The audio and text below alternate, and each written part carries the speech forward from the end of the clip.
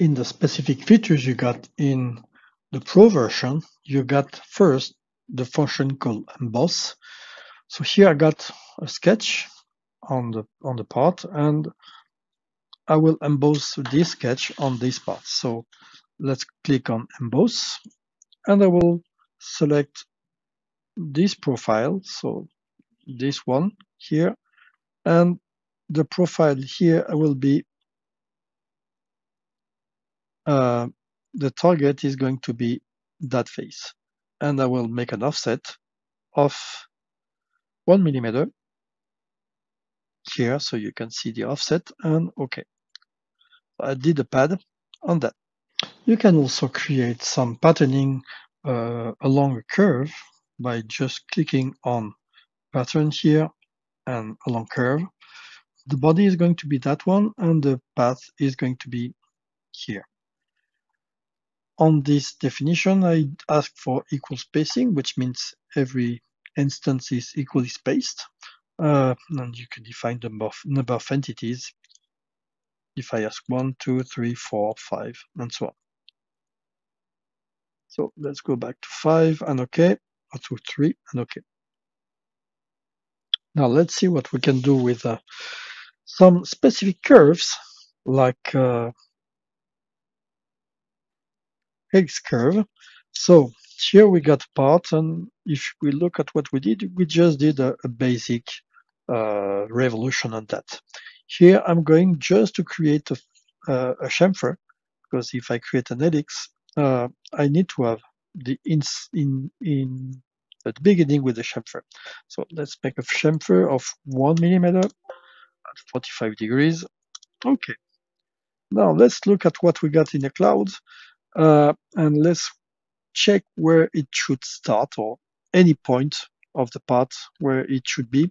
Um, maybe I should mm, create a section there just to be sure about the, the starting point.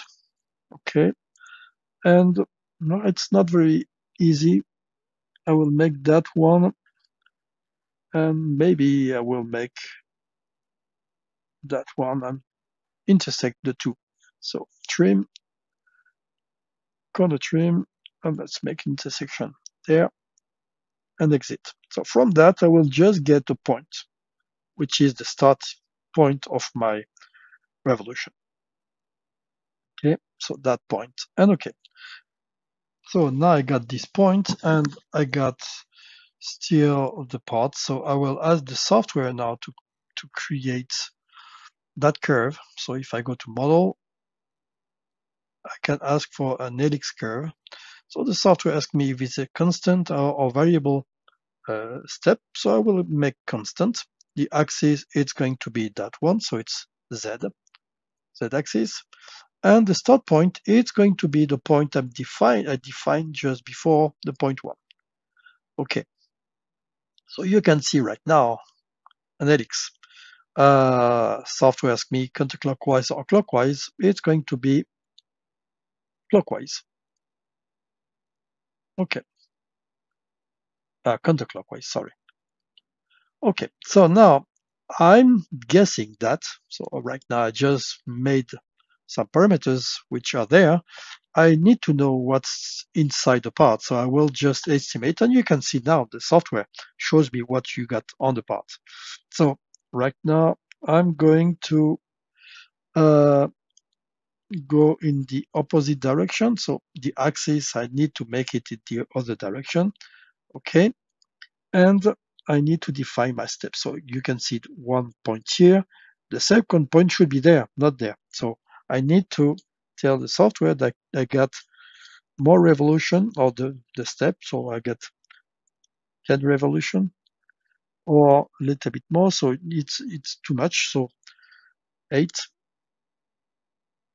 Or you can I ask for the pitch seven, and I got a pitch of two.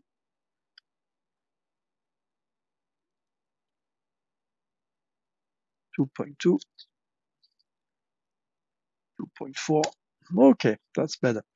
And now I'm going to ask the software to make more revolution. So it's revolution. and I need to define that until there and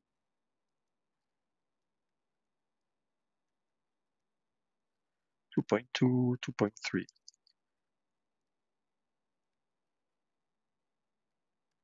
Okay, and then ask also to get to the opposite direction a little bit more.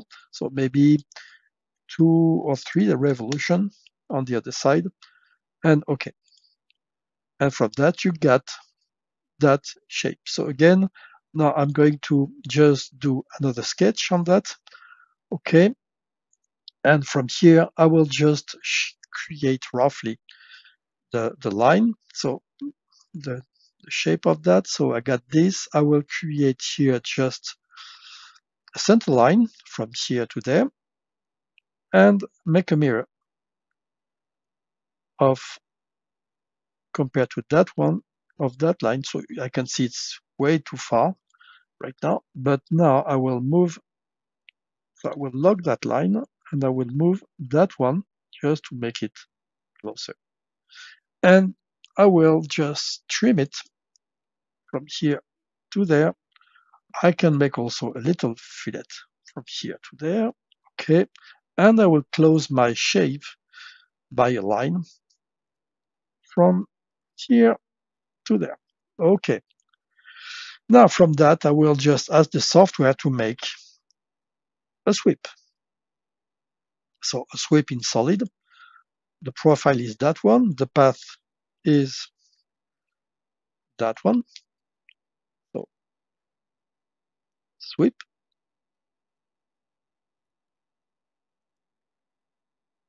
So I will make a sweep of that shape and take the path which is going to be there and also tell the software that it has to align that shape along the direction which is going to be a vector z. And I can cut Okay, so if I look now at my part, so now I've just defined that my, my part has been modified. I did a lot of features on that. And at a point of time, I just see that, well, I made a mistake. Uh, this face should have been below or higher. So I can always go back to the previous, or if I export it to a step, I cannot modify it. So I need maybe to move that face. So here you have the move face feature. You can select the face, you can select the direction of the face, and you have you can define it by 2 millimeter, uh, 20, 2 millimeters. So you can see that it's going to move the face by 2 millimeters. And try to continue the shape it does.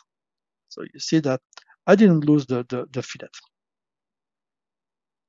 But I can see that it's even worse. I don't want to have a plane on top. I want to have a freeform shape. So let's make here a sketch. And on this side, for instance, and uh, let's make a curve and make a spline. So make a spline like whatever spline I want to create. From that spline, I will make an extrude. So extrude in surface model, midplane, and OK. And then from that, I will ask the software to replace my face. So replace which face? That one by that one. And the software updates that and OK. So I don't need to go back and modify my complete definition. One thing though is when you use a surface and you want to you used it uh, sometimes you don't want to to to use that and to have that entity anymore. And you cannot select the face here and press delete because otherwise the software is going to tell you that every child children uh, children features will be removed. So you need to do it in a parametric way. In order to do that you have to make delete face or delete body be careful, this is a face, but in, in, in fact, it's a surface body. So I will delete the body here and okay. So it's a parametric feature which is there. And finally, you can also duplicate the body or transform the body by, and also you can activate duplicate inside. So duplicate body, it will copy the body. So it's just a duplication. But what you can do, in fact, it's also transform body, this body, and duplicate at the same time. In this case, you will move the new body away and you will have a duplication of that.